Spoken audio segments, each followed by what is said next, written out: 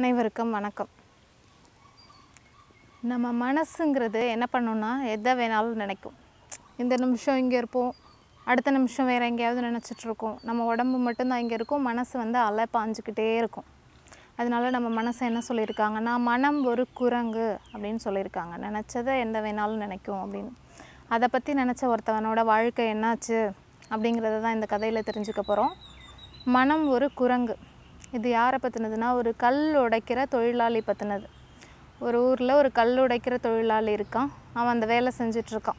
வேலையை முடிச்சுட்டு டயர்டாக வீட்டுக்கு போயிட்டுருக்கான் அப்படி வீட்டுக்கு போகும்போது அவன் வழியில் ஒரு வீடை பார்க்குறான். அந்த வீடு எப்படிப்பட்டதுன்னா அந்த ஊர்லேயே அதுதான் ஒரு பெரிய அரண்மனை மாதிரி இருக்க வீடு. அது யாரோடதுன்னு அவன் விசாரிக்கும்போது அந்த ஊரில் இருக்க பெரிய பணக்காரரோட வீடு அது. அவன் உடனே நினச்சிக்கிறான் நம்ம இந்த பணக்காரர் மாதிரியே இருந்தால் எவ்வளோ நல்லாயிருக்கும் அப்படின்னு நினைக்கிறான். உடனே என்ன பண்ணுறான்னா அவன் நினச்ச உடனே அந்த பணக்காரனாக மாறிட்டான். பணக்காரனாக மாறி வாழ்ந்துட்டு இருக்கும்போது என்ன பண்ணுறாங்கன்னா அந்த பணக்காரவங்களே ஒரு சிலரை பார்த்து பயப்படுறாங்க. அது யாருன்னா அரசு அதிகாரிகள். உடனே அவன் அடுத்ததான் என்ன நினச்சானா நம்ம இந்த அரசு அதிகாரியாக மாறினா எப்படி இருக்கும் அப்படின்னு நினச்சான். அதே மாதிரி அரசு அதிகாரியாக மாறிட்டான். திரும்ப அரசு அதிகாரியாக மாறி வேலை செஞ்சிட்ருக்கும்போது என்ன ஆயிடுச்சுன்னா வெயில் ரொம்ப அவனால் தாங்க முடியல. அந்த வெயிலுக்கு காரணம் என்ன அப்படின்னு பார்த்தான். சூரியனாக இருந்துச்சு. அப்போ ஒருத்த ஒரு மனிதனே தாக்குற அளவுக்கு சக்தி இருக்கா சூரியன்கிட்ட அப்போ நம்ம இந்த சூரியனாக மாறினா எப்படி இருக்கும் அப்படின்னு நினச்சி பார்த்தான். உடனே சூரியனாக மாறிட்டான். அடுத்ததாக என்ன பண்ணுறான்னா இப்படி மாறிட்டு இருக்கும்போது சூரியனே மறைக்கிற அளவுக்கு மேகம் வந்துருச்சு. சூரியனே மறைக்கிற அளவுக்கு இருக்குது இந்த மேகம். நம்ம இந்த மேகமாக மாறினா எப்படி இருக்கும் அப்படின்னு நினச்சான். உடனே இந்த மேகமாக மாறிட்டான்.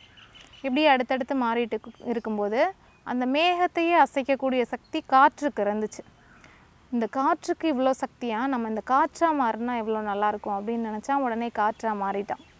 இப்படி காற்றாக மாறி அடிச்சிட்டு இருக்கும்போது அந்த காற்றை தடுக்கிற சக்தியாக பெரிய பெரிய மலைகள்லாம் இருந்துச்சு. ஓ அப்போ இவ்வளோ பெரிய மலைகளுக்கு இந்த சக்தி இருக்கா? அப்படின்னா நம்ம மலையாக இல்லாமே அப்படின்னு நினச்சான். அதே மாதிரி மலையாயிட்டான்.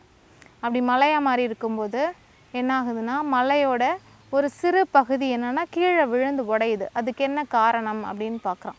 அங்கே ஒரு மனுஷன் கல் உடச்சிட்ருக்கான் அப்போ இவ்வளோ பெரிய மலையே உடைக்கிற சக்தி அந்த உளியில் இருக்குது அந்த உளியை வச்சு தட்டுற சக்தி வந்து அந்த தொழிலாளிக்கு இருக்குது நம்ம அந்த தொழிலாளியாக மாறினா என்ன? அப்படின்னு நினச்சான். அந்த தொழிலாளியாகவே மாறிட்டான்.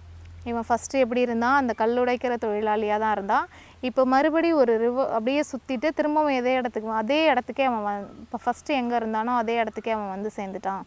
அவனோட மனசு என்ன பண்ணியிருக்குன்னா ஒரு குரங்கு மாதிரி ஒரு இடத்துல நிற்காம எப்படி தாவி தாவி தாவி தாவி. நினச்சது பார்க்குறது எல்லாத்தையும் தாவி கடைசியில் எது அவனுக்கு நிலையானதோ எது அவனுக்கு கிடைக்கணும்னு இருக்கோ அதே இடத்துக்கே அவன் வந்து சேர்ந்துட்டான். இதை நான் கண்ணால் பார்த்துருக்கேன் பார்த்துருக்கேன்னா எனக்கு தெரிஞ்ச ஒரு நண்பர் ஒருத்தவர். அவர் இப்படி தான் சொல்லிக்கிட்டே இருப்பார். இதாக இருந்தால் நல்லா இருக்குமே. இப்போ ஒரு கலெக்டர் ஆஃபீஸ்க்கு போனால் அங்கே கார் கதவை திறந்து விடுவாங்க. கலெக்டர் இறங்கி வருவாரா? இந்த கலெக்டராக இருந்தால் நான் நல்லா இருக்குமே. இதே ஒரு மினிஸ்டரை பார்க்க போனால் மினிஸ்டரை பார்த்தோன்னா இந்த மினிஸ்டராக இருந்தால் நல்லா நல்லா இருக்குமே. எதை எந்த இடத்துல பார்க்குறோமோ அப்படியே நம்மள நம்மளே நினச்சிக்கிறது. அதே மாதிரி இருந்தால் அது நிலை இல்லாததாக இருக்கும் இல்லையா? எல்லாருமே அவருக்கு சொல்லியிருக்காங்க. இப்போ ஆனால் அவர் நல்லா தான் இருக்கார்.